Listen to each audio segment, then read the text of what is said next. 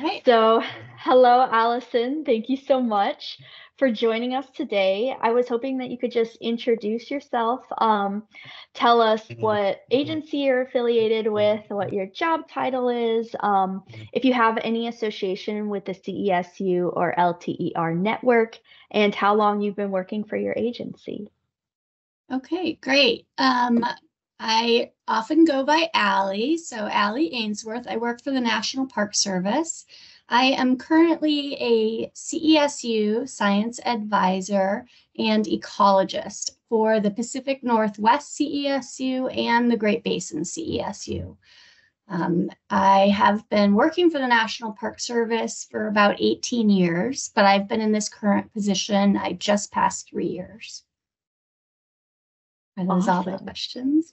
Yeah, you're good.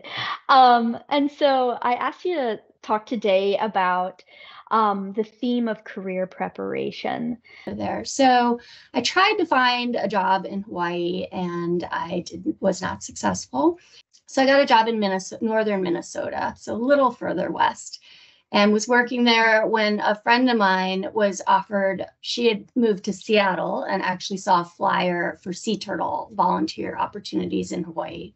So she put me down as a reference. I was called by the park as a reference, and as people always seem to do, I asked, Oh, Hawaii, can I come? And the hiring official said, Sure. So I actually kind of fell into a volunteer opportunity at Hawaii Volcanoes National Park and ended up working there in resource management about seven years. Um, did get into plants and got hired as a, a vegetation technician. So it was it was 10 years between undergrad and going back for my master's but it was a great opportunity because I then went and researched the vegetation recovery following the fires that I had helped fight.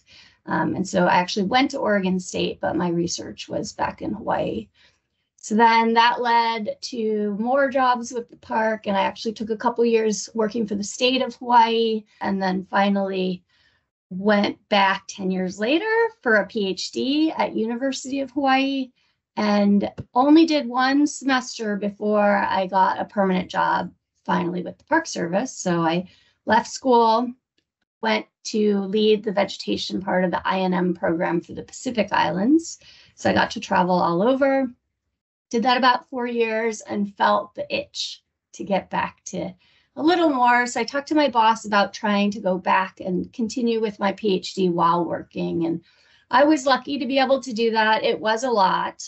Um, so I did that for three years and it was great, but pretty hot.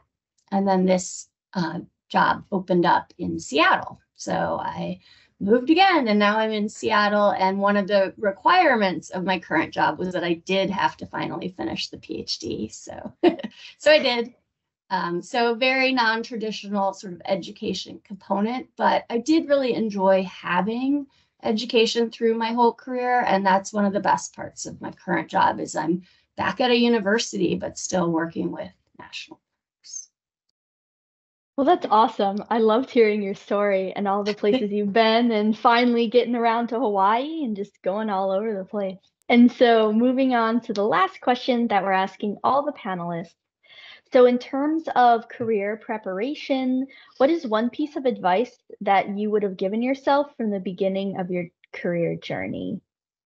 The importance of people and relationships has only grown over time. Um, and I I think of even back when I was in undergrad and I never went to office hours and you know I didn't really take advantage of all the potential mentorship opportunities. I think that is part of why I was happy to to help out with this actual interview is I think um, you know it there's a lot to be learned and as a more senior government employee I have a lot to learn from the next generations coming up and the incredible application of technology and science and so I guess I would say you know keep an open mind and enjoy meeting people. You don't have to like everyone, but it is beneficial to to get to see different perspectives.